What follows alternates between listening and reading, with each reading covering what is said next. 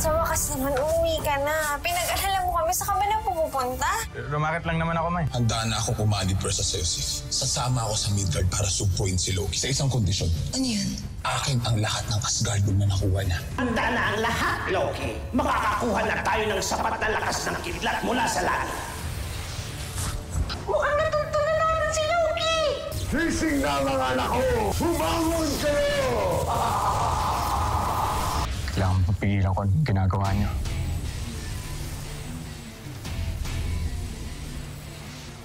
Salamat at nandito ka. Sinugod ba kayo ni Loki? Asan siya? Nandito nga siya, Hammerman. Ikaw? Ako nga, Hammerman! Bakit nagpapakilala ka ngayon? Dahil handa na ako! Nagutom na para sa aking anak, si Jormungand. Ang hapunan mo!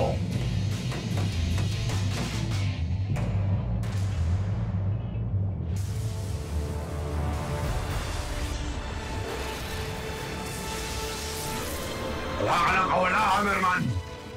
Katapusan mo na! Pasensya na nahuli ako, pero may kasama ako. At mo kasama yung mga yan, Mori! Alam na ni Modi ang panglilinang mo sa kanya, Loki. Jormungand na! Sugod!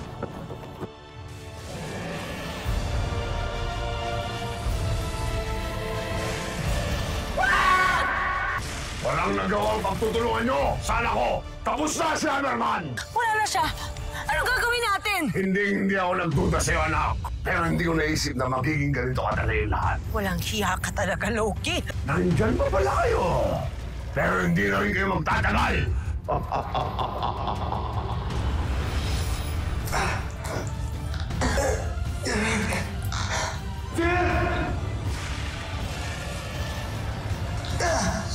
Hindi na ako pwede magtagal pa dito.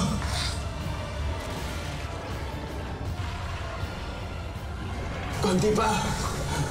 Konti. Konti na.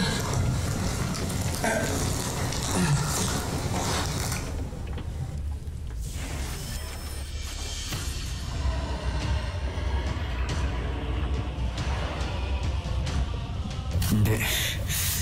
Hindi pwede ito ng katapusan ko. Maraming umaasa sa akin. Nakako ko kay Magni na tatalunin ko si Loki.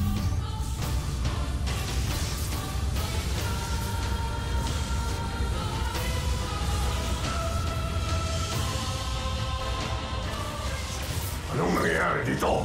Anong ginagawa niyo sa anak ko?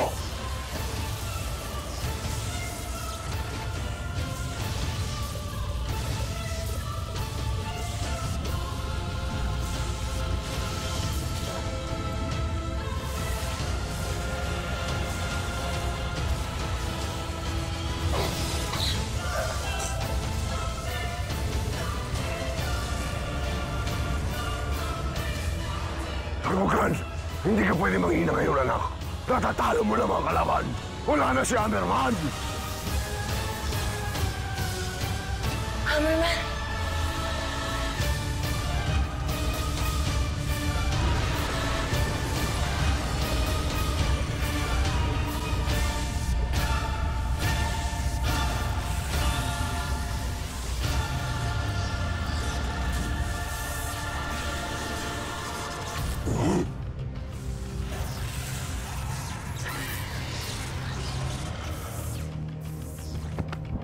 Hammerman! Buhay ka. Sif, huwag ka na magsayang ng oras. Babanggayin mo talaga ako, Loki. Akala ko ba matalino ka? Dapat alam mo na na hindi mo kaya ang lakas ko. Hindi lang sa lakas na papanalo ang laban mo, Lee. Minsan ginagamit din ang utak.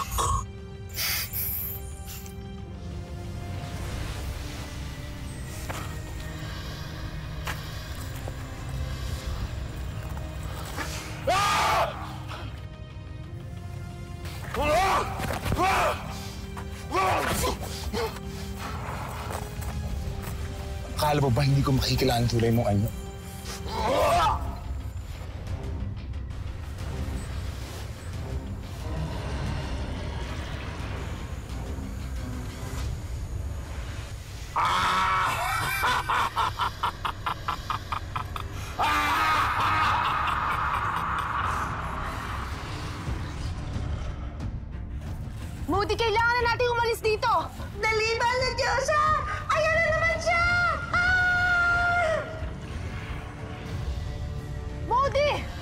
Mapurol ka talaga, Molly! Ah! Ah! Ah! Ah! Modi! Ah! Ah! Ah! Halika na, tama na yan! Steve, tapusin na natin to. Ako na!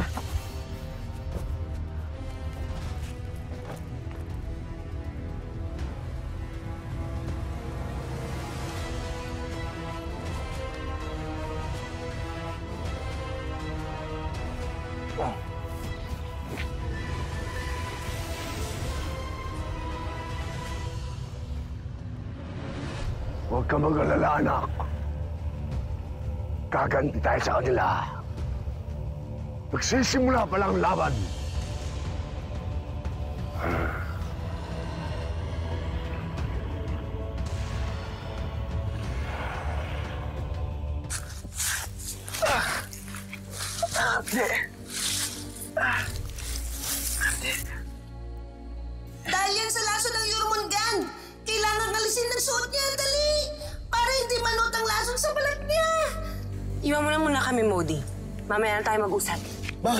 Dahil ayaw mong makita ko ang mortal na anyo ni Hanuman. Wala ka bang tiwala sa akin, si? May usapan tayo, Modi. Kung hindi ka makikisama sa amin, hindi mo makukuha ang gusto mo. Bakit? Anong gusto niya?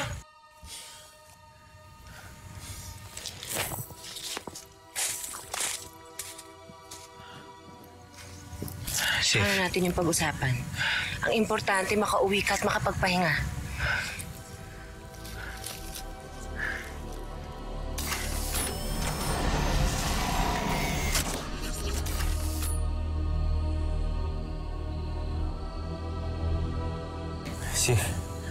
Hindi pwedeng malaman ng pamilya ko kung ano nangyari.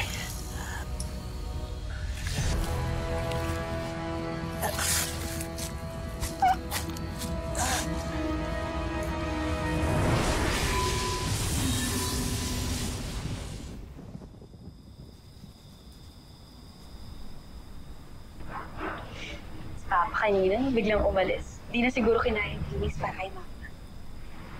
Sabi mo, paano mo naman nalaman? Ikaw naman, Kuya. Hindi kailangan magsalita ng isang tao para malaman mo yung feelings niya. Minsan, makikita mo na lang yun sa pagtingin nila sa'yo. Sa mata. Gaya ng pagtingin ni Papa kay Mama. Ikaw, di ba ganun yung tingin mo rin kay ate? Oo naman. Hindi pa. Pero huwag ka masyado mainit. Marinig ka na ate Lynette ko dyan. Ano hindi ko dapat marinig? Beb. Beb, wala. Ay, nak. Lalaki sa festival. Anong hindi ko dapat marinig? Wala na. Ano yun? Hindi. Si, Di, ano, wala si na. Mama at Papa magkausap kanina. Ayan, si Papa, kukonsintihin mo pa. Ano ka ba naman? Nasaktan na dati. Tapos pagkatapos nun, pilit mo yung gusto mo. Ay, nako. At, Hindi, wala na. Hindi naman sa ganun Wala eh. na. ay, at, ano ba? Tulungan niyo kami. Kuya? Ano nangyari? Ay, tulog ko ka. Tubig, tubig. Tubig, tubig. Ayan, tubig. Ay, okay ka lang? A- ano nangyari? Ko, Victor, ano ba? A- Ano ba talagang ginawa mo? Ba't ka nagkaganyan? Pamilya mo kami, huwag kang magsinungaling.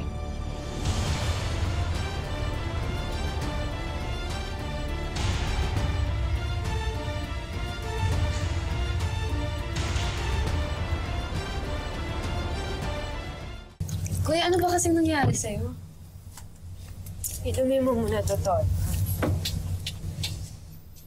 Pakita naman, no? Ayoko, huwag natin. Victor! Ano, ano anak, ba't nasaktan? Ba't nasaktan? Ah, Bayong, nasabi ko kasi sa kanila yung emergency sa sa planta. Di ba yung sa planta? Oh, yes ma. Nag- May mga nasirang gamit po kasi nahirapan po kaming ayusin. Ano nangyari?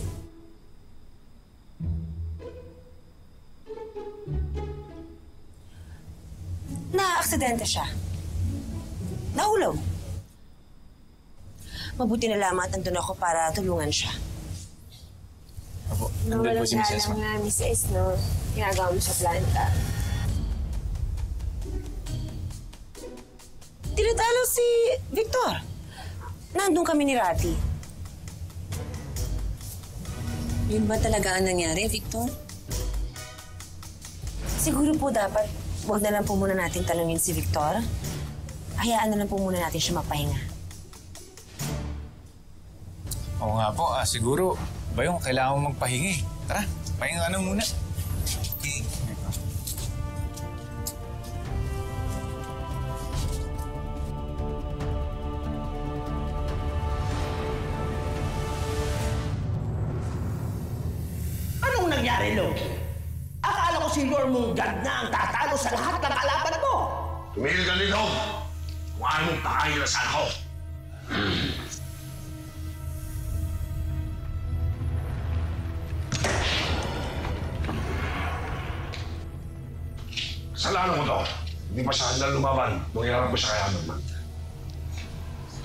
Siya.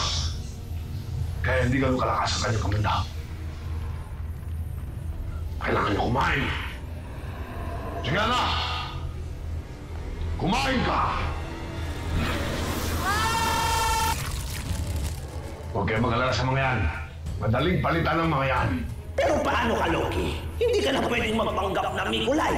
At alam na rin ni Hammerman ang tungkol sa planta. Paano kung sugurin nila tayo habang nagpapalakas pa si Yormungand? Anong gagawin natin?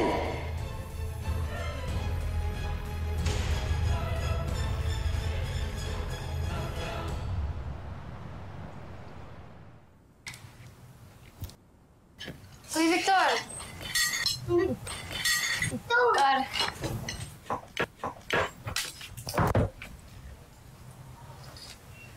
Sige na. Kasi kusunin na yung kapatid mo.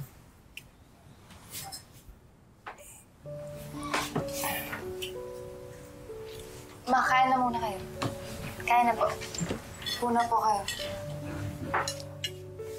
Ah, thank you po.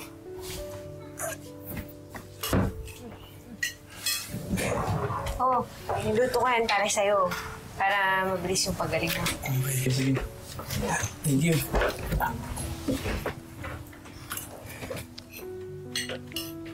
Gusto niyo po ng kanin, ma? Galing ka agad, Tito Victor. Tara.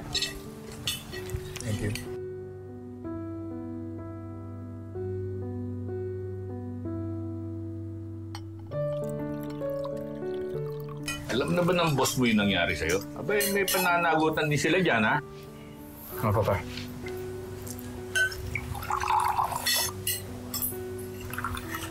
Bayong! Bayong! Bakit? Masamang balita eh. May nangyari sa planta. Ano?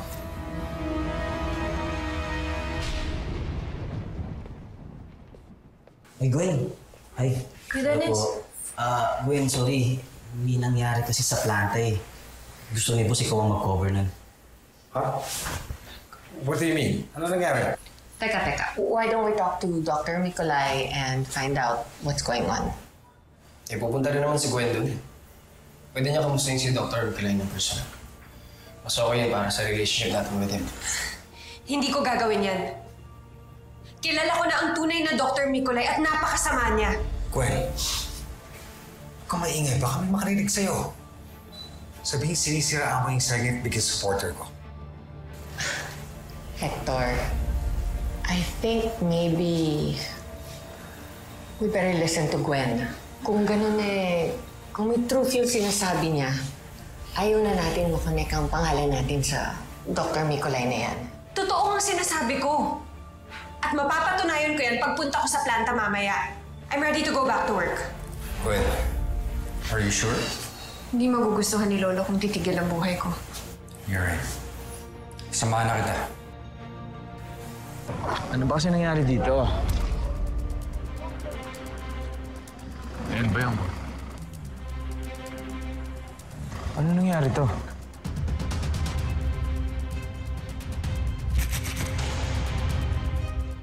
Ibig mong sabihin ba yung front lang ni Dr. Mikolay. Eh, sa nilok itong plantang to.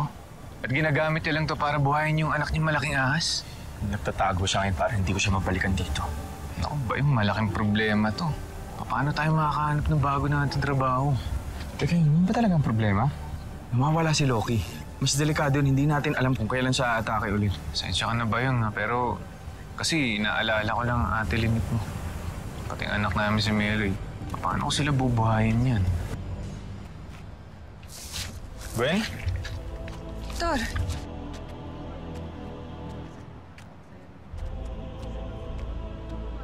Anong nangyari? Nasaan ang planta? Wala na, naglaho na. and I know why, Victor. Lahat ng kakaibang nangyayari sa lugar na to ay dahil rito.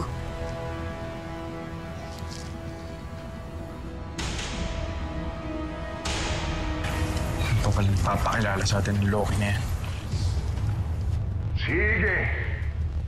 Ipamalita niyo ang pagkawala ng planta. Maghanap kayo lahat. Dahil wala kayong makikita.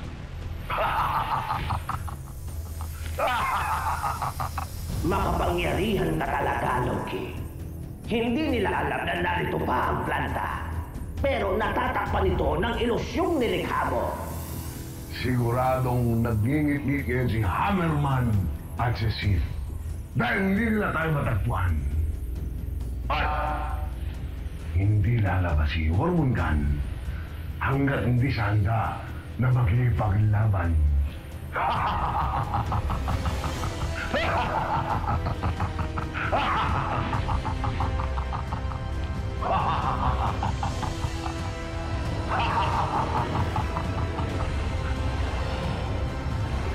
Kailangan natin bilisan, Ratatoski. Masama ang loob ni Modi nang iwan niya tayo kagabi. Kailangan makasiguro tayo na hindi pa nagbabago ang isip niya. Mami Chesa! Ano? Si Modi!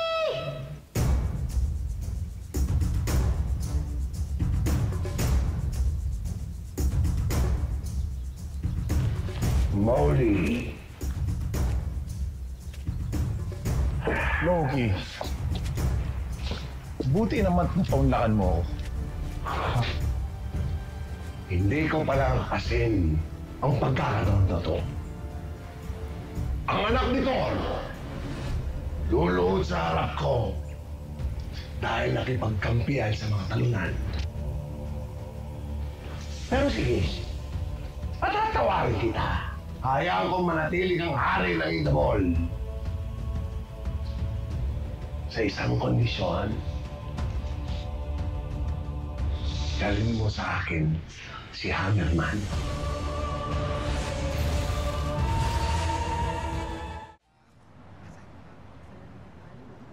Kailangan ko itong ibalita, Victor.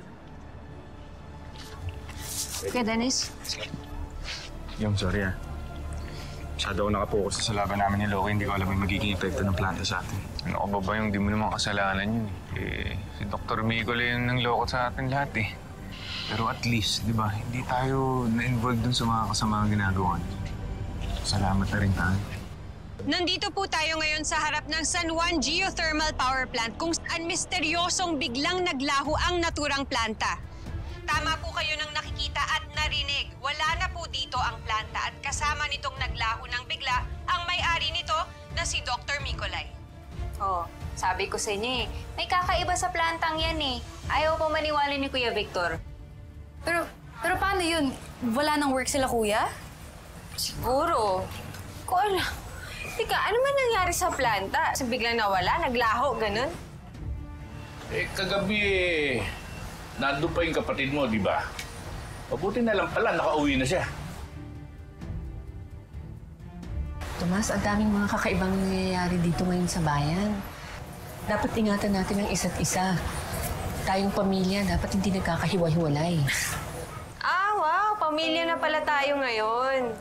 Eh, alam ko, nagsistay ka lang dito habang nagpapagaling ka, di ba? Bisita ka lang. Lynette, Huwag ka mag-alala, Lynette. Eh, hindi ko ipagsisiksikan ang sarili ko dito. Ang ibig ko lang naman sabihin, ah, siguraduhin natin na ligtas ang lahat ng tao na nakatira dito.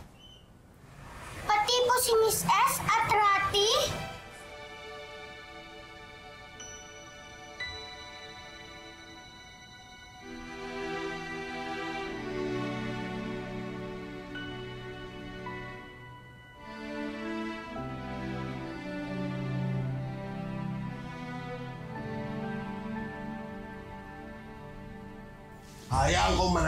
Hari ng Idabol. Sa isang kondisyon, galing mo sa akin si Hammerman. Mga walang hiya. Lalo na si Modi. Walang isang salita. Hindi ako papayag na traidorin niya kami. Matitikman ni Modi ang galit ko. Wait, na Diyosa! Relax! Makinig ka muna sa kanila!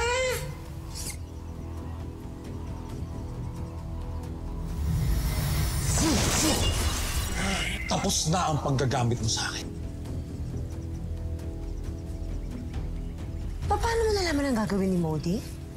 Na hindi na siya magpapauto kay Loki? Kilala ko ang lahat ng Diyos at Diyosa sa siyam na mundo ng Yggdrasil. At wala nang masambog pa sa anak ni Thor na si Mofi. Napaya na siya nang mapatunayan niya ginagamit lang siya ni Loki. Kaya gagawin niya ang lahat para makaganti. Baka si Modi pa ang makatalo kay Loki. Eh di mabuti. Tapos na ang problema. Ako ang natitirang anak ni Thor. Ang kasalukuyang hari ng Idavol. At hindi mo na ako pwedeng utusan.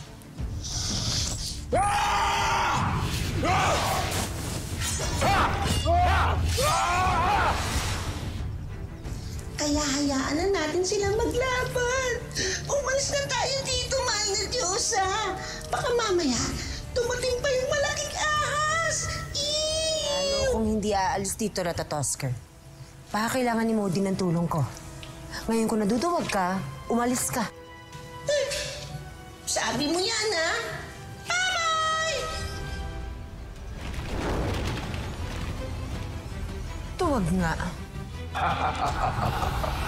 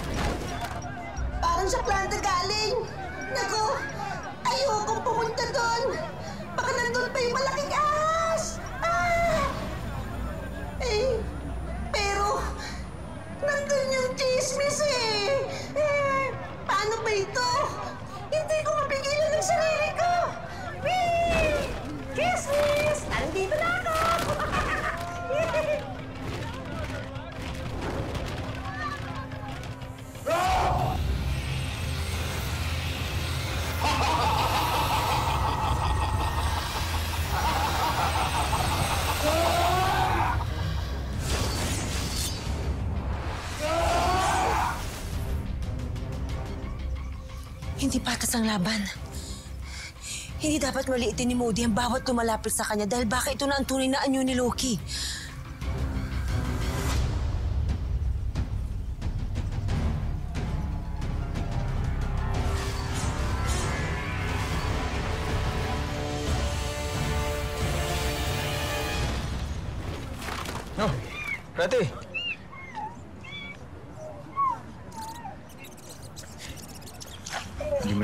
Mo na kailangan magpanggap, Rati. Alam na ni Bayong ang lahat. Kailan pa? Hala, nagsasalita yung daga. Squirrel nga! At anong nangyari sa planta? Naglaho ang planta, Rati. Kasama si Loki. Diyan ka nagkakamali. Dahil nakikipaglaban sa kay Moody na yun. Ano? Nagharap silang dalawa. At naroon din ang mahal na Kiyosa. Mukhang malapit na mapuksa ang kalaban mo, Victor. Saan sila naglalaban?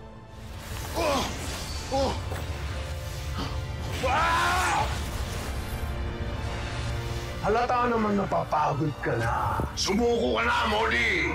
Wala kang laban sa amin! Gawin mo na yung katotohanan! Hindi pwede mamatay si Modi. Si Loki ang dapat bumalik sa Helheim. Ito na ang pagkakataon ko para tapusin siya.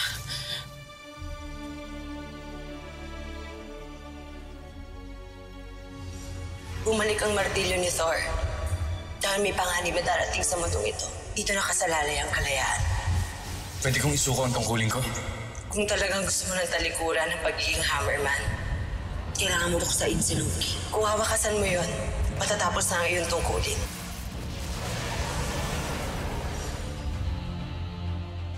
Mawawala na ang Mjolnir at ang mga guantes ni Thor. Mawawala na rin kami ni Rati.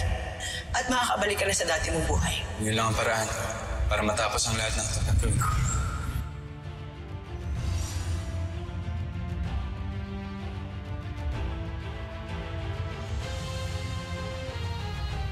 Hindi! Hindi ako sususi sa duwag! Loki! Hanapin mo ako! Ah! Bakit ko gagawin yun, ha? Kung natutuwa pa akong makikipaglaro sa'yo.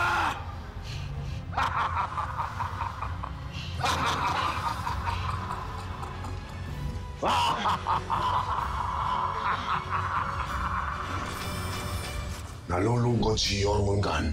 Nangungulila siya sa mga kapatid niya. Huwag na po kayong mag-alala dahil may nakuha na akong mga tao. Umuko ka na.